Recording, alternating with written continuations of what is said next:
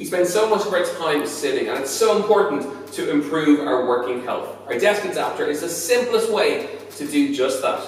It's pretty easy. You stand at your desk, press the handle, and bring the desk all the way up with you to standing height.